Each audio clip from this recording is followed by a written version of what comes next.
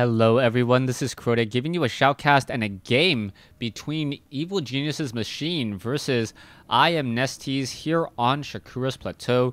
Machine spawning as the red Zerg on the bottom right hand side of the map. Meanwhile, I am Nesties spawning as the blue Zerg on the top left hand side of the map. And I am in fact not Nestea. Um, it is I am Nestea, but I can understand the confusion.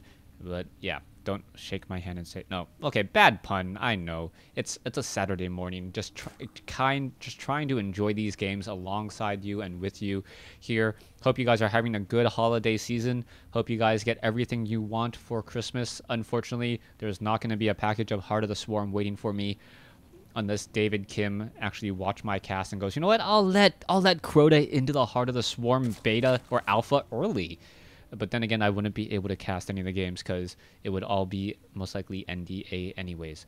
Now, Nestea as the blue Zerg on the top left-hand side versus Machine. Both players, um, oh, Nestea, very smart, passing with the Overlord, getting to the halfway point, and then realizing, hey, most likely he is not there. This is going to be a full cross spawn, and this is a true mirror match as even the Overlords are moving in a very, very similar direction. We now see Machine, though, getting an extractor back uh, inside his base and also going for a spawning pool. So this will be an extractor pool opening for a faster uh, for a for a faster map control, faster Zergling build. Meanwhile, Nestea, no spawning pool, no extractor, instead has a hatchery at his natural expansion, meaning that he is going for a fast hatch obviously, and then going to be building a spawning pool. He may or may not go for gas early on. If he does go for gas early on, he is going to be utilizing metabolic boost and hoping that um, the the queens and maybe perhaps one spine crawler will be enough to fend off against Baneling and Zerglings. Um, if he doesn't go for gas, then he's really going to be really counting on just spine crawlers and queens. The problem with just spine crawlers and queens, though, is that they do tend to get surrounded. Spinecrawler is very, very powerful with that 2 base armor to fight back against those Zerglings, however. Now, Hatchery about 75% done. Meanwhile, the metabolic boost at Machine's base already started, and that is going to be that is going to translate into a very very strong advantage as we now see that the spawning pool is going to be completed in a little bit of time, but still going to be about another 50 seconds or 50 StarCraft 2 seconds, I guess, before Metabolic Boost can even be researched. So um, it looks like Machine's going to have a 90 second advantage with that Metabolic Boost as this game gets underway. Zerglings now running across the field looking to fight. There is no. Is there a spine crawler being added? It looks like there is a spine crawler being built, but I'm not quite sure where. Come on, can I click there? Nope. I cannot click there. A spine crawler. Um, where is that spine crawler? Zergling's now going after this hatchery over here. It looks like Queens will be coming out as the Zerg Cocoon now taking a little bit of damage here. Zergling's now going to be forced to back off. There's going to be a larger number coming in from Machine, though, as the Queen now comes out. And that Queen adding additional defense, really making a large difference there as the spine crawler was being built over here and now very slowly making its way over here. So Spinecrawler now rooting itself off. And now the Zerglings are going to try to do a run by one. Two Zerglings are able to make it inside the base. They are going to be able to scout around. Perhaps fight against a drone. Take one down. No, no drones were lost at all. As Machine has a very small window of opportunity to deal a lot of damage. Hatchery about to be completed. It looks like Machine's going to have enough for an inject right at the right moment there. As both sides now get even more Harvesters. 19 to 19 now 22 drones now coming in from Nestea. So Nestea still training up more drones as long as he doesn't over drone and doesn't and, and has enough of a um, units to really fight back. He should be fine as the Zerglings are now going to make their way inside the space. Are they going to be able to make it inside the ramp? No, that Spine Crawler and that Queen both had something else in store. And now still hitting those injects pretty much on time. So Nestea doing a great job. You can see right as that larva spawns, he is over there already on top of it, able to keep track of so many things at once. Machine sitting at 36 over 36, currently supply blocked. This is bad news for him. He is currently down by 12 food, and you never want to be down by 12 food that early on, as he's already losing critical mining time Um, but he does have more drones at this stage. We are now going into a Roach War, and as the Zerglings look like they want to try to test the waters, one Baneling here, another Baneling here, and what's going to be happening? Oh, it looks like that one Baneling was able to take down three. Not the best exchange, but still a good, um, a decent exchange. You really want one to four, one to eight, one to ten is even better, but you can't always get what you want. The Zerglings now chasing after those Banelings there. The Zerglings may be able to get in. Oh, one Baneling getting overexcited and premature detonation as the Zerglings are now once again backing off. So that Baneling is it going to try to make its way in? Four, three Zerglings coming in, and that Baneling does exchange there. One for three. More Banelings going to be added as the Zerglings now coming in once more and a little bit of this yin yang battle here as the Zerglings now give chase, realize that there's too many, and now back off once again. Harvester count is 33 to 37. Nestea now taking the lead as a Baneling trying to move out, perhaps trying to find a group of very tightly packed Zerglings. The Zerglings are still running around this Baneling, doesn't have movement speed, unable to catch up to those Zerglings as they're backing off. The Zerg swarm control just so, so powerful as the Zerglings are now running all the way back home, but now going to have to fight superior numbers once more.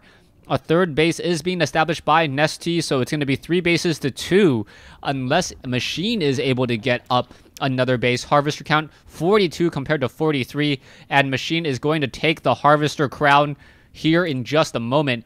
Now back up to 48, as we are now going into a Spire play.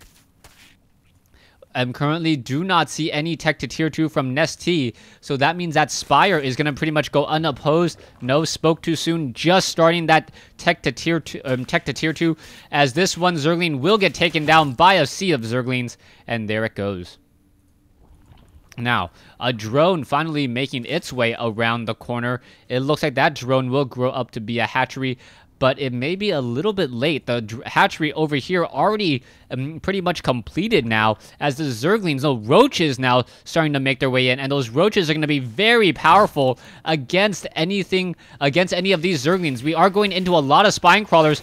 Creep is now being spread, and not quite sure why, as the Baneling, oh, gets detonated once more. Spine Crawler is going to engage. Zerglings need to engage here. There's a nice detonation, as one Spine Crawler does get taken down four more about to, five more about to um, finish morphing into play. This hatchery over here, not even started yet, as the roaches are going to be making their way up the ramp. The spire now completed. Uh, are we going to get some Mutalisks? Five, seven Mutalisks should be a very, very large number to help as the roaches are now going to engage. There is one queen in this group. The queen joining in on the fight. Roaches having a very difficult time fighting behind this spawning pool, the perfect place for it, as drones now coming off the mineral line to try to help win this war. It looks like the roaches will get taken down finally, but after evening up the food count just a little bit, only one worker killed though. Taking a look at the overall losses, Machines still slightly losing a little bit more resources as Mutalisks are now going to hunt for Overlords. Four Overlords in the air here, um, a total of 10 now in the air as the Mutalisks are going to be going after the Queen. But there are a lot of Spore Crawlers, two at the third base, three at the natural expansion. And I don't think these Mutalisks are going to be able to get the true economic damage that needs to be dealt. Zerglings running back around. It looks like these Mutalisks are just going to sit around and are completely um, not very useful right now. Those Mutalisks are not going to be able to engage and essentially, what Machine could have had is a stronger economy to perhaps break open that front door. Two Middle is going to finish off another Overlord here. It's going to get taken down.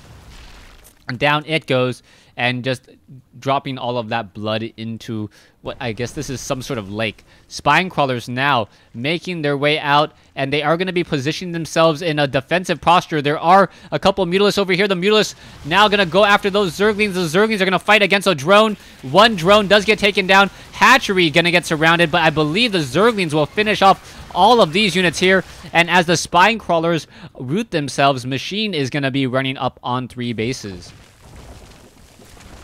55 SC or 55 drones versus 65 drones here. Three triple spine crawlers on the front door. More Zerglings in position off over here as well. As it looks like this Overlord gets taken down. And both sides now, with minimal scouting information, but there's still one Overseer here. The Overseer does not have the Pneumatized Carapace, but he could try to do a bit of corruption to slow down any of any researches or any spawn larvas. Zergling's now looking to make their way in. Zergling's going to engage, back off. There are a couple of spine crawlers, another overlord taken down. Two more overlords most likely will go. And now 101 over 86 as the Mutalisks are engaging here. A Baneling trying to roll on into a group. And is it going to be enough as the Banelings try to split apart? There are a couple of roaches here. That's not going to be a good exchange. And Nestea with just so many numbers winning this war um, seemingly with just numbers of the same units. 87 85 food versus 139 65 drones versus 53 and now by this point Nestea has a larger army and can replenish it faster. Mutalisk was taken down. Also we see another spine crawler taken down over here. Drones still trying to mine as the Mutalisk back off. Level 1 flyer attack upgrade about halfway completed. Spore crawler now coming in it looks like more and more Mutalisks are being added still. Roaches are going to, and Zergling's going to finish off that Spore Crawler here. And with Machine down to only two Mutalisks, no, three more, four more Mutalisks joining on the fight. But there is the GG, and Machine has left the game. So game one in the series going to the Korean once more. Nestea beating Machine on Shakuras Plateau. Stay tuned for game two.